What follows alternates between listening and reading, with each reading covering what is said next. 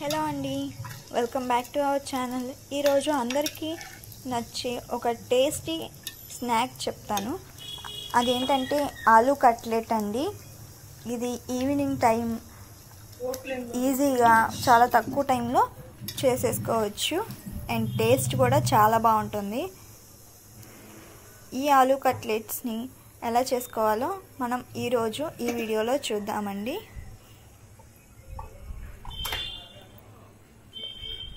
First అయితే aloo cutlets కోసం bread crumbs కావాలి. బ్రెడ్ క్రమ్స్ మనకి మార్కెట్లో అయినా దొరుకుతాయి. రెడీమేడ్గా లేకపోతే మన దగ్గర ఉండే మిల్క్ బ్రెడ్ని పీసెస్గా కట్ చేసుకొని మిక్సీ జార్లోకి వేసుకొని ఒకసారి బ్లెండ్ చేసుకుంటే బ్రెడ్ బ్రెడ్ క్రమ్స్ అయిపోతుందండి. ఆ తర్వాత మన దగ్గర మనకి ఇంట్లో ఉండే అటుకులు అటుకులు కూడా ఒకసారి మిక్సీ జార్లోకి వేసుకొని ఒక హాఫ్ కప్ అటుకులు మిక్సీ జార్లోకి వేసుకొని మనం పౌడర్ని చేసుకోవాలండి.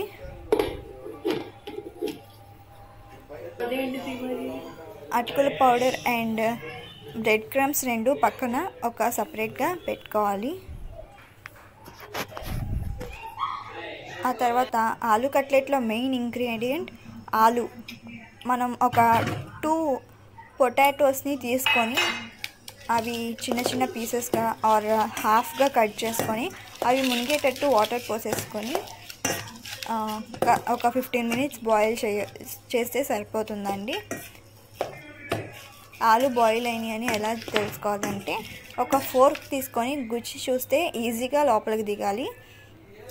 అలా ఉడకబెట్టుకొని పైన తొక్క తీసేసుకోవాలండి. ఆ తర్వాత ఆలు మొత్తాన్ని ఒక బౌల్లోకి తీసుకొని మ్యాషర్తో మ్యాష్ చేసుకోవాలి స్మూత్గా ఎక్కడ గడ్డలు గడ్డలుగా లేకుండా స్మూత్గా మ్యాష్ చేసేసుకోవాలండి.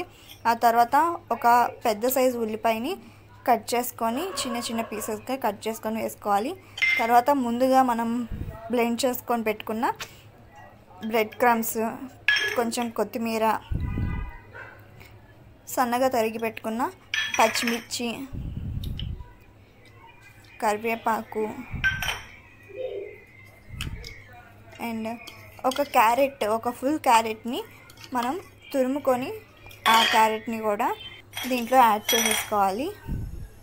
ఆ తర్వాత bread crumbs oat oats powder sorry అటుకుల పొడి అటుకుల పొడి. అటుకుల పొడి బదులు ఓట్స్ పౌడర్ కూడా మనం యూజ్ చేసుకోవచ్చు. ఆ తర్వాత సన్నగా తరిగి తరిగి పెట్టుకున్న అల్లం చిన్నులపై పీసెస్ యాడ్ చేసేసుకోవాలి. ఆ తర్వాత మనకి రుచికి సరిపడా ఉప్పుని యాడ్ చేసుకోవాలండి.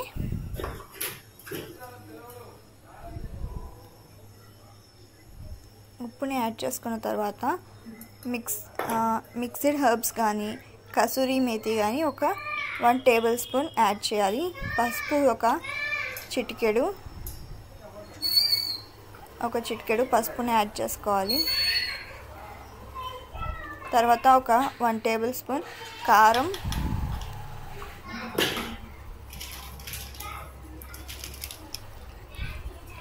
కారం.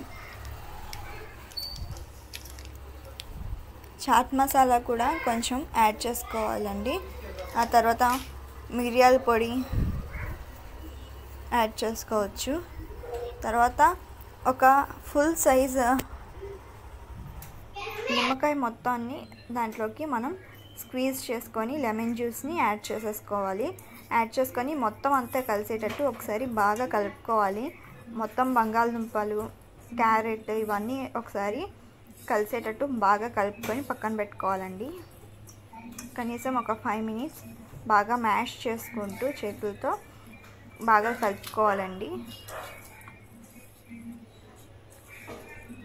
ఆ తర్వాత కట్లెట్స్ లాగా చేసేసుకొని మనం స్టవ్ మీద ఒక ప్యాన్ పెట్టుకొని ఆయిల్ హీట్ అయిన తర్వాత జస్ట్ కట్లెట్స్ లాగా చేసుకొని దాంట్లో వేసేయాలండి. ఆయిల్లో వేసేసి ఫ్రై చేసుకోవాలి. ఆయిల్ మరీ ఓవర్ హీట్ అవ్వకూడదు. అలా అని లో హీట్లో ఉండకూడదండి.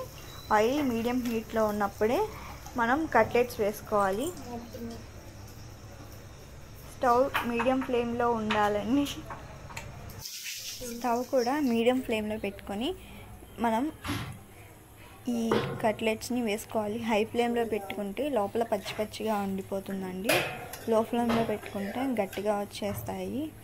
సో మనం మీడియం ఫ్లేమ్లోకి అడ్జస్ట్ చేసుకుంటూ మనం వీటిని ఫ్రై చేసుకోవాలి. కట్లెట్స్ ఇలా గోల్డెన్ బ్రౌన్ కలర్ వచ్చింగానే తీసేయాలండి. మరీ ఓవర్గా హీట్ అవనివ్వకూడదు అప్పుడు బ్లాక్ వచ్చేసి మాడిపోయినట్టు కనిపిస్తాయి బ్రౌన్ కలర్లో ఉన్నప్పుడే తీసేసుకొని ఒక టిష్యూ ఉన్న ప్లేట్లోకి తీసేసుకోవాలి. టిష్యూ ఎక్స్ట్రా ఆయిల్ని అంతా అబ్జర్బ్ అబ్జర్బ్ చేసేసుకుంటుంది. అన్నీ అలా టిష్యూలో తీసేసుకొని మయోనీస్ ఆర్ టొమాటో కెచప్తో సర్వ్ చేసుకోవడమే.